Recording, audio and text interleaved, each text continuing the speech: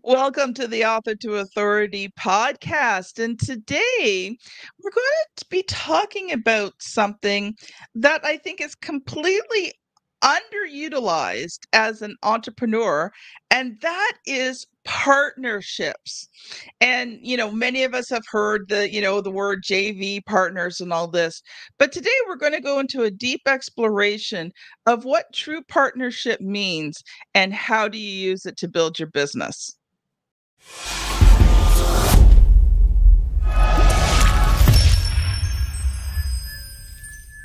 I'm excited. Want to welcome Joey to the show. He's a highly sought after omni channel marketing consultant with over 14 plus years of experience managing industry leading health and wellness brands, helping his clients generate over $100 million in combined sales.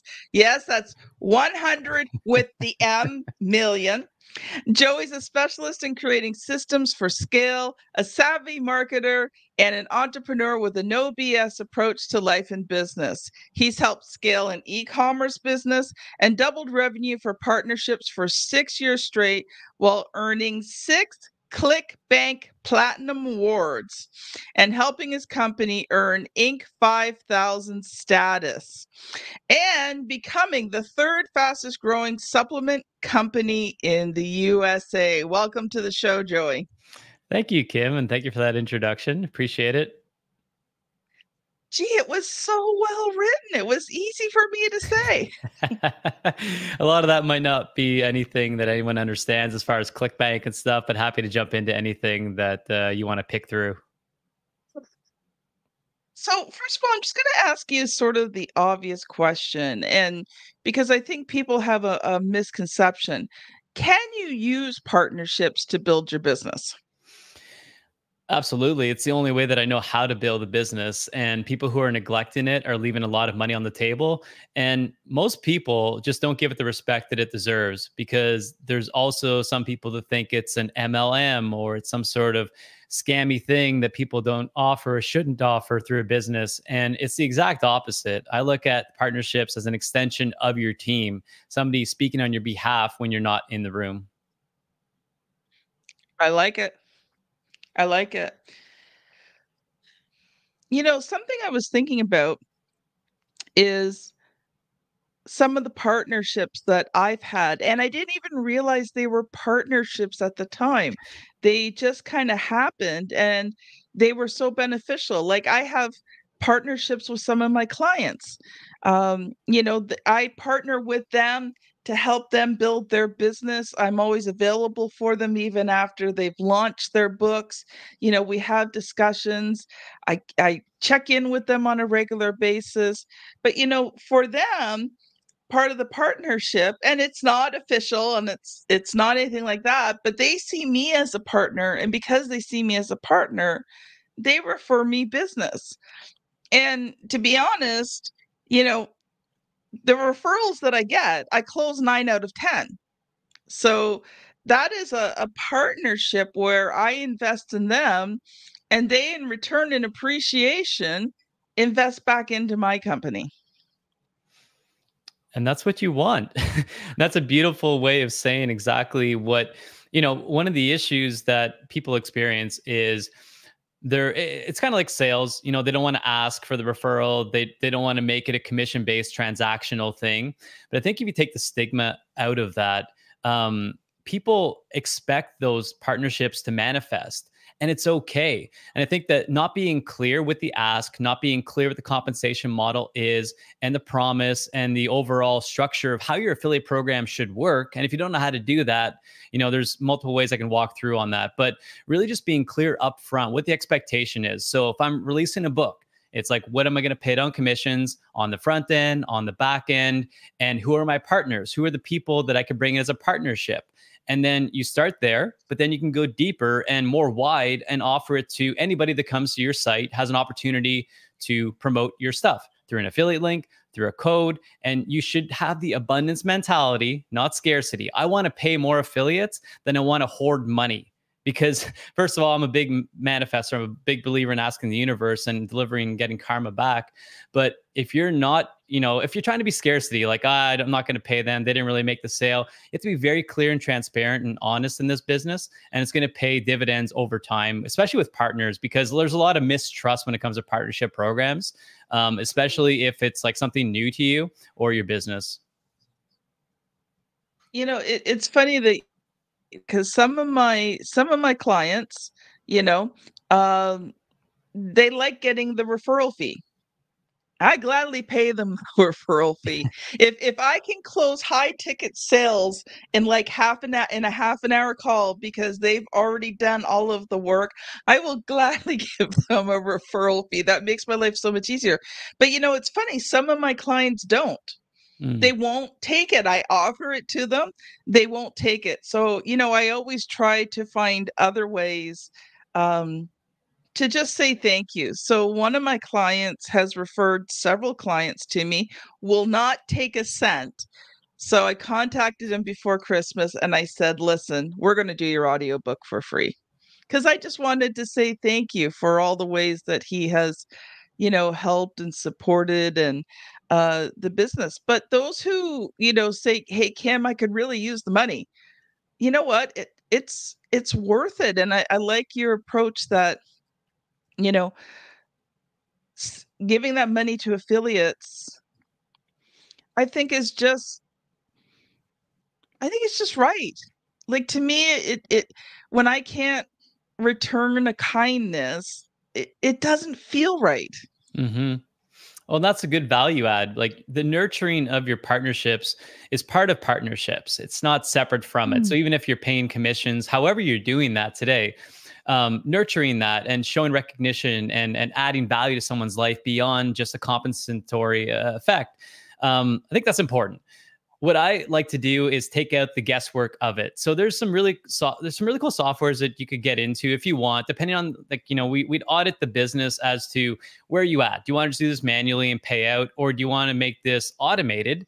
and easy so that you mm-hmm. know someone doesn't have to ask you for the commissions you don't have to like wonder it's just black and white here's your link if they buy through the link here's your payout you're not even involved in it you pay a small processing fee to the transaction person doing the referral for you um, meaning the company and like I said, I, I, can make some recommendations. I'm not affiliated to any of them, and there's so many of them out there mm-hmm. that integrate with like Shopify or other background e-commerce platforms that make it easy. And that way the person can just go get a link, go get a code, and then go promote it without even having to be like feeling, oh, I got to go ask Kim for money because I kind of want the money. Mm-hmm. It just takes out that uh, that awkwardness from it. And as you scale the business, um, you know, these people talk to other people and so there's a lot mm. of circles as you're aware like networks you know expand upon each other.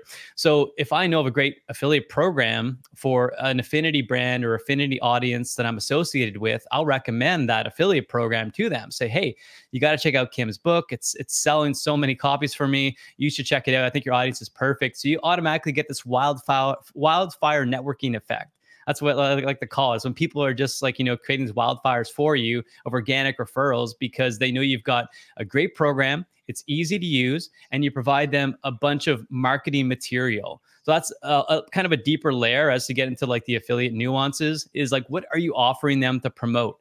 Yeah, links good, comp- compensation's good, but you need to then uh, do your homework. What's the best marketing piece? What's the best email? What's the best podcast ad read that you can give them and teach them along the way how effective it is to do this ad versus the one they're doing because of maybe something you split tested or you've learned. So beyond just money, I like to bring affiliates and partners value in the form of knowledge and marketing knowledge, copywriting knowledge, and split test wins as well we're gonna we're gonna dive a little deeper into that. First, we're gonna take a quick ad break, but just before we do that, um, I wanted to share with you. Um, you probably noticed that we have gone to two episodes a week. So this is the first time we've gone to two episodes a week. Uh, we were doing three. And the, I just wanted to explain why we've cut back one episode a week. RTI Publishing is growing. We've been developing new programs, new products, new services. Um, I am back in school part time to study something that has been my dream. And with all of these things going on, I just really felt that I couldn't keep up with 3 episodes a week. I I've been trying to, but I am getting a bit behind. And so, audience, what I'd rather do is make sure that you got 2 continuous episodes a week no breaks. Now, I did reach my goal. My goal for 2023 was to do three episodes a week, every single week for 2023, and I reached that goal.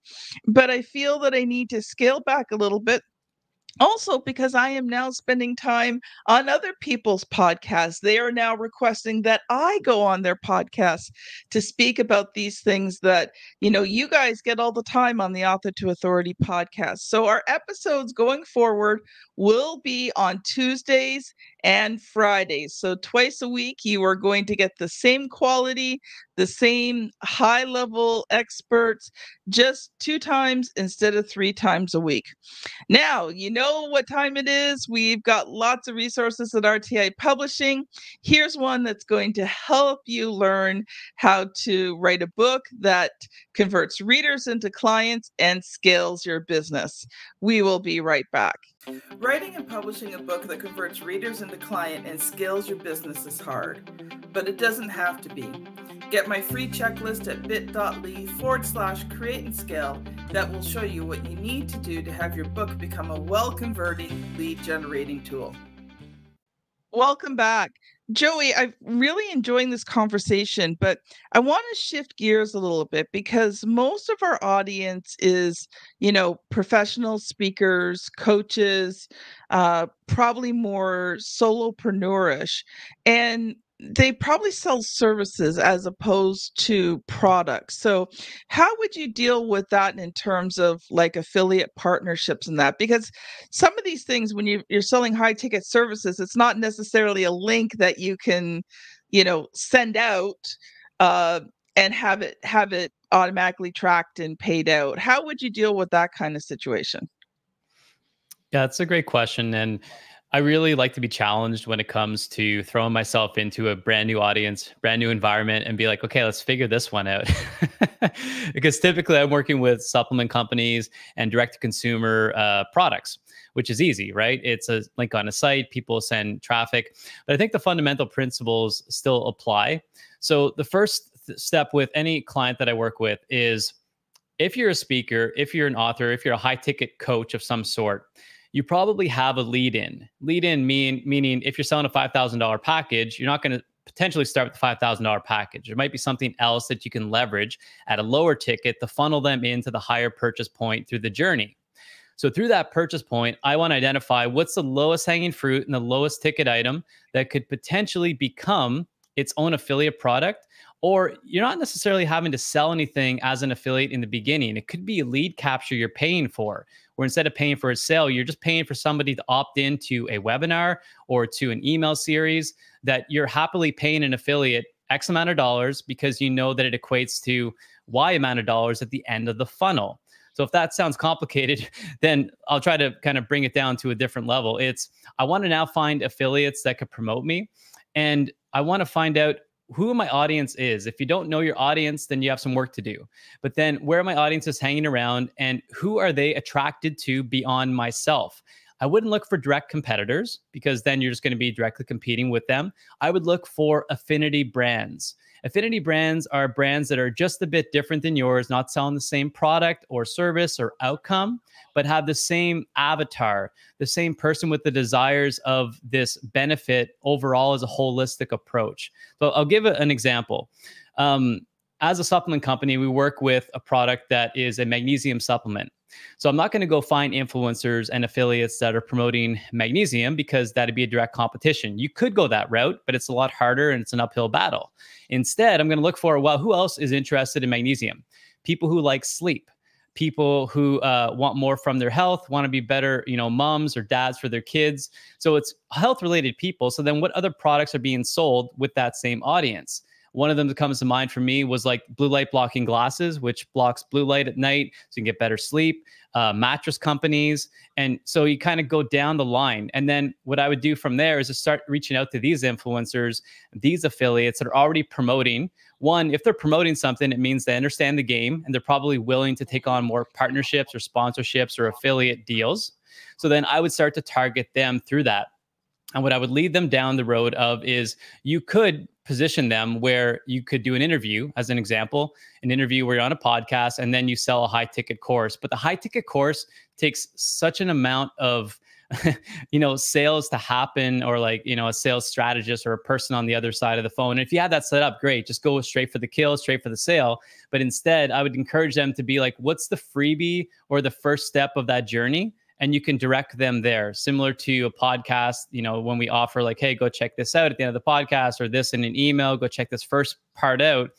From there you can build a relationship given that you've got some sort of email autoresponder sequence or sales strategy after that first initial touch point. So that would be my strategy but kim i might have missed any part of that. You want to dig a little deeper into so just let me know I think one of the the biggest things for me is, you know, how do you get to know these people first so that you feel comfortable asking them to be an affiliate for you?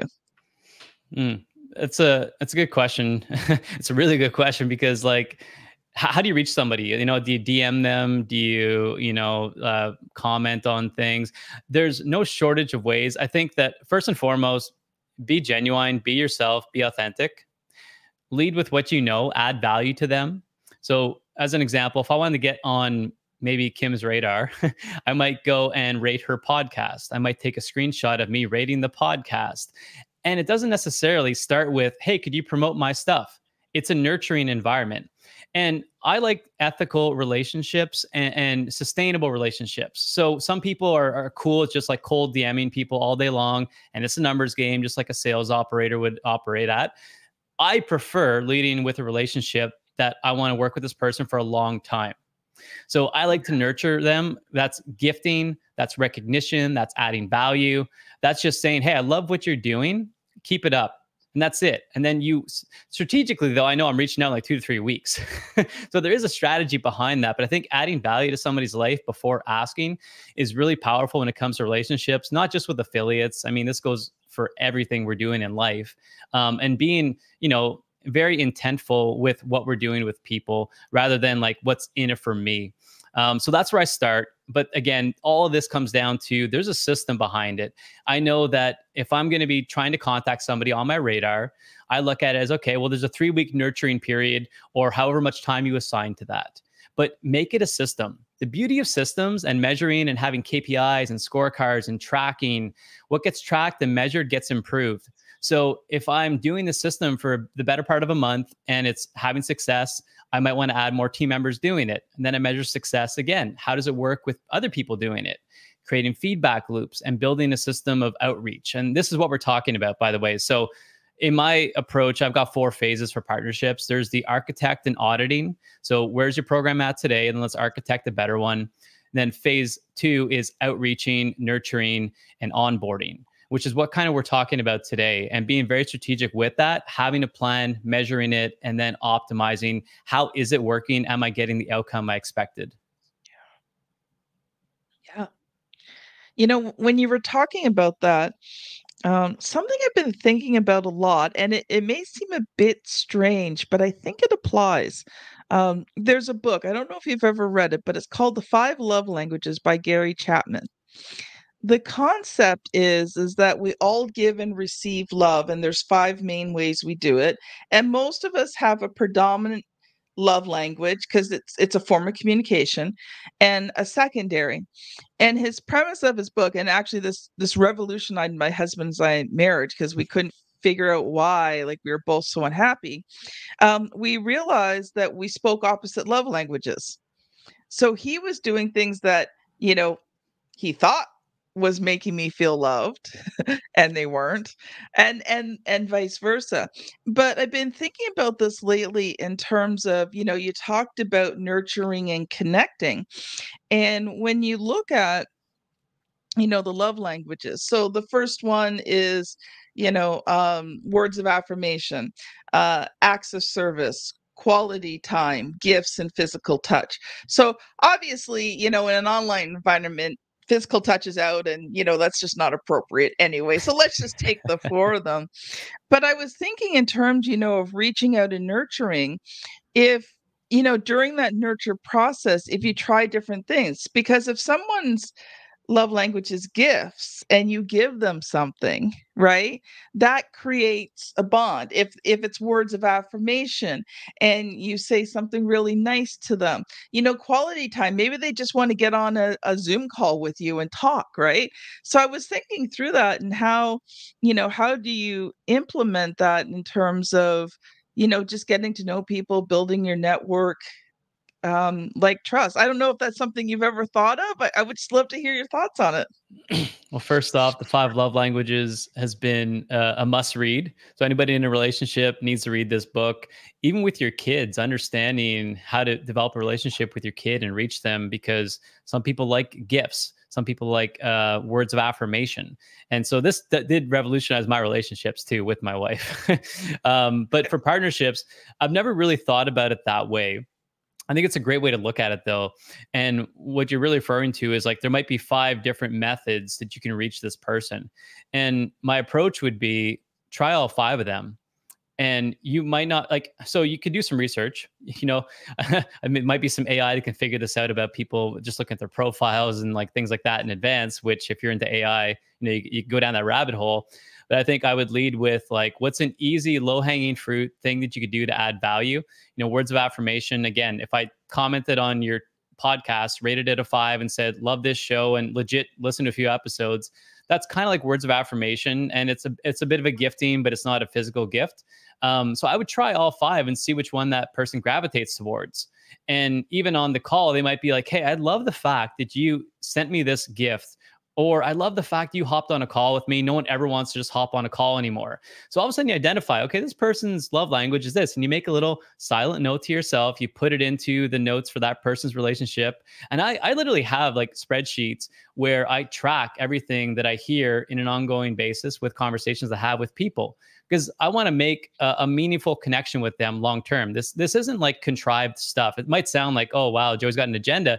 It's not though. Why is it bad to make a commitment to somebody to learn about them and to establish that relationship? So I would just say try all five, make notes on the ones that are working more. Maybe you realize gifting is the way to go, but ultimately it could come down to the individual every single time. And next time when you reach out to them, you know that, oh, I'm just going to send them a gift because they love gifts. Like they don't really care what I have to say about them.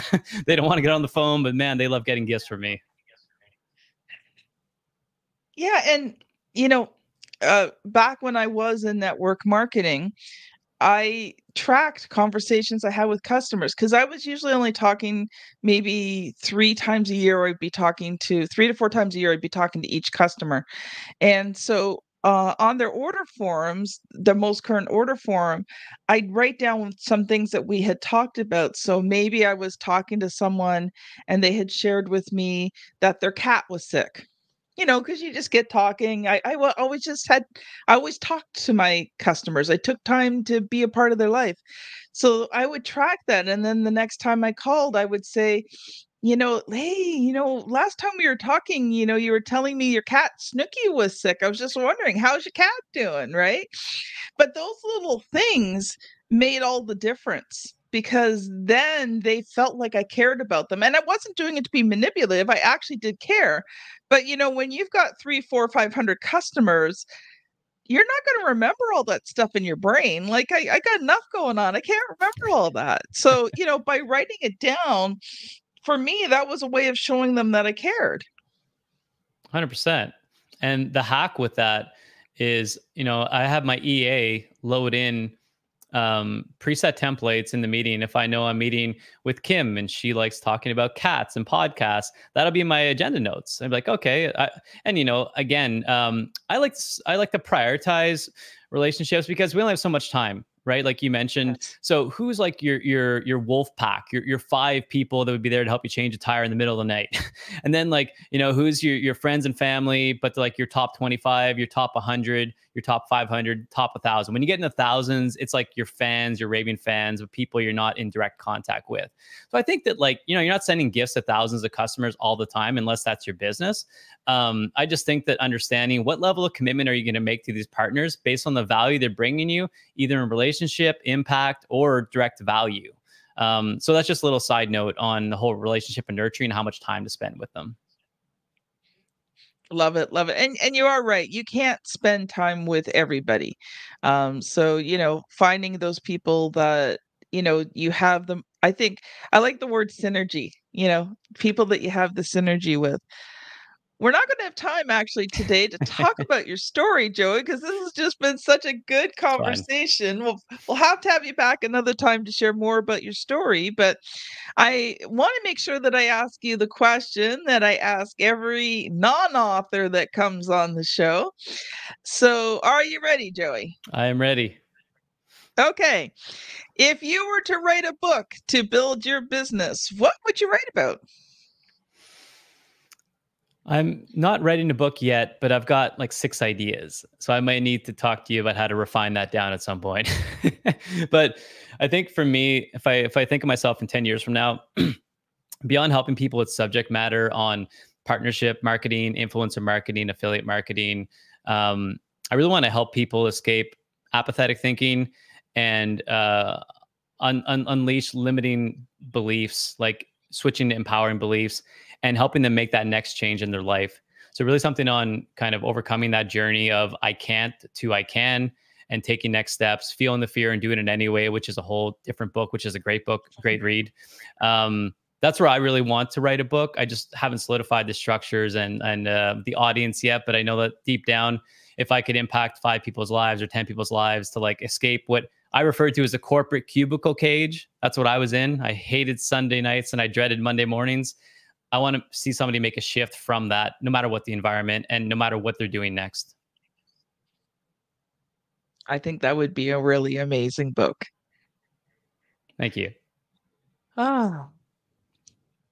Okay, so you know, you you talked about, you know, escaping apathetic beliefs and I think even sometimes, you know, in business, I think as as entrepreneurs, we have sometimes these belief systems that just really stop us from being the the best person that we can be and the best entrepreneur we can be.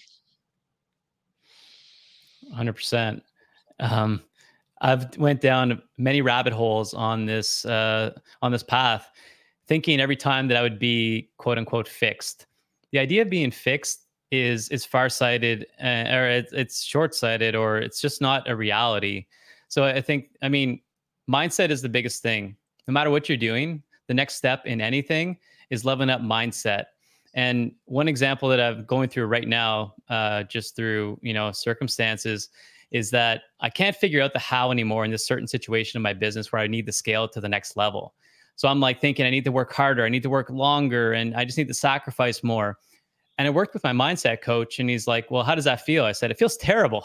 I, I hate that feeling. And he's like, Well, then why don't we change that? Why do you have to work hard? And it's like, Well, because that's what I know. And he's like, Well, have there been times where it's been easy? So then I've started thinking, I'm like, Well, there's been this time, this time, this time. That was really easy. And he's like, How does that make you feel? I'm like, Really good. So, okay. So the empowering belief is maybe in order to be successful, I have to work less and I work from a relaxed state. That's your new belief. Find evidence as to support that new belief. And that one little exercise every single day has been transforming the way I think. And by transforming that limiting belief into an empowering belief, which isn't my methodology, by the way, is now shaping the new how. The how's unveiling itself to me just through shaping my mind to actually believe it's possible. So we always get it in the reverse. Um, so that's what I've been practicing and been disciplined at for like the last three weeks, where I kind of fell off the wagon for the past year. You know, the one thing I realized um, is I know a lot of what. I even know a lot of how. But what I realized, I can't see the forest for the trees. So one thing I did last year is I actually found some specialists in the different areas that I wanted to grow in and paid to work with them. And it was an amazing experience because I didn't have to figure out how. I just had to follow them in where they were leading me. And they could see the trees. Yeah. And so the process became quicker. It was a lot less stressful. It took the pressure off of me to create something that was amazing. And I came out of it with a whole lot more clarity than I thought possible.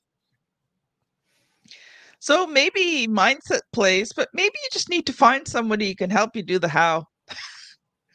Absolutely. And there's a great book called uh, The Who, Not the How. And what you're referring to is like the who to provide the how. you don't have to figure out the how. You can hire people to help you figure it out. And that's one of the biggest hacks there is is like continuously finding coaches to level you up in ways that you couldn't help yourself in um, and the one thing I'll mention too, if anybody's interested in partnership programs and we didn't have enough time to get into all the nitty gritty on it, you can email me or find me at partnerupprofits.com just to do like an audit of your program. Like I'm passionate about talking about this. So I would just happily give a consult on things and where you're at and where your business is going and if partnerships actually has a good play or not and how it would fit in. So just to throw that out there. Love it, Joey. So we got time for one final thought from you. One final thought. okay. Um, so my final thought, th- these are like some sayings that I keep with me. And again, I'm a big mindset, even I'm a mindset guy as well as a strategist, but no matter what situation you're in, I think it's giving yourself permission to think about change. Um, as well as one quote that resonates with me a lot, which is keep your gratitude higher than your expectations and you'll have really good days. Mm, Gratitude, man, that's an underutilized tool in today's society. If we could just look at things through the eyes of gratitude instead of competition, I think our world would be a much, much, much better place. Joey, thank you so much for being on the show today. I have very much enjoyed today's conversation. Thank you. Appreciate it, Kim. Thanks for having me on. You're very welcome. Audience, where do you go to next? Well, if you are watching on YouTube, you're going to click the thumbnail somewhere here on the screen because I'm never sure where my daughter puts it, and there's several choices. Uh, you're going to go to episode 468 How to Supercharge Your Business. If you're on your favorite podcast app, you are going to be scanning back about 30 episodes to find it, but it's another great episode on ways to grow your business. If you have wondered about partnerships, here's my best word of advice start making them because they're definitely worth it. So, thank you so much for listening today, and we will see you on the very next episode. Have a great day, everyone. Bye now.